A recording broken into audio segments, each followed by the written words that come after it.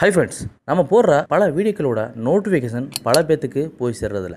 அதனால நம்ம டெலிகிராமில் ஒரு குரூப்பு ஸ்டார்ட் பண்ணியிருக்கோம். அது எப்படி நம்ம வந்து ஜாயின் பண்ணுறது அப்படின்னு கேட்டிங்கன்னா இந்த வீடியோ கீழே டிஸ்கிரிப்ஷனில் இதோட லிங்க் இருக்குது இந்த லிங்க்கை நீங்கள் கிளிக் பண்ணிங்கன்னா டேரெக்டாக டெலிகிராமில் நீங்கள் வந்து ஜாயின் பண்ணலாம். இதோட ஸ்பெஷல் என்ன அப்படின்னா நம்ம போடுற ஒவ்வொரு வீடியோட லிங்க்கும் அதில் தான் ஃபஸ்ட்டு போடுவோம். ஸோ உங்களுக்கு டேரெக்டாக உங்களுக்கு வந்து அந்த லிங்க் கிடைக்கும். ஸோ இதன் மூலமாக உங்களுக்கு பலவிதமான பெனிஃபிட்டும் கிடைக்கும். Thank you friends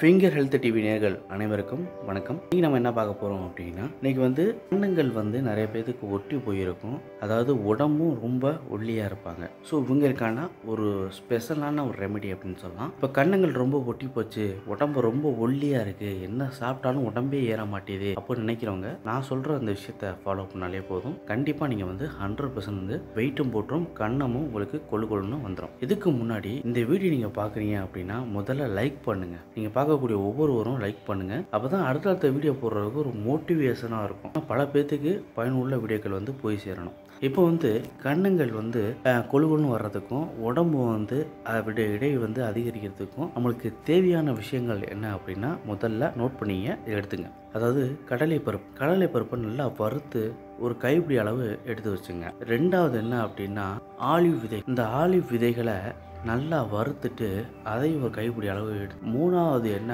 அப்படின்னா பனங்கள் கற்கண்டை நல்லா நச்சு எடுத்து வச்சுங்க. நாலாவது என்னென்னா வாழைப்பழம். வாழைப்பழம் எந்த பழமாக இருந்தாலும் பரவாயில்ல வாழைப்பழத்தை எடுத்து வச்சுங்க.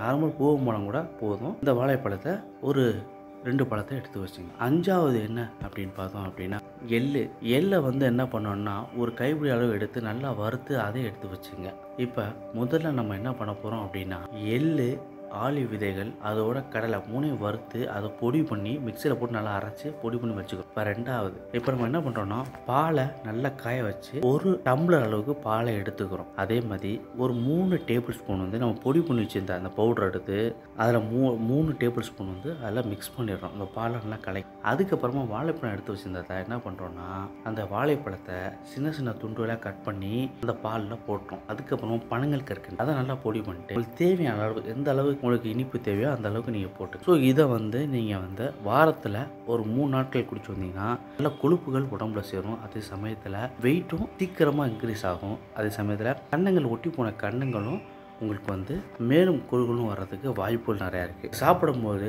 இரவு நேரங்களில் சாப்பிட்டு படுக்கும்பொழுது இன்னமும் வெயிட்டு போடுறதுக்கு வாய்ப்புகள் நிறையா. ஸோ அதை ட்ரை பண்ணுங்கள் உங்கள் ஃப்ரெண்ட்ஸுக்கும் ஷேர் பண்ணுங்கள் மறக்காமல் லைக் பண்ணுங்கள் நன்றி.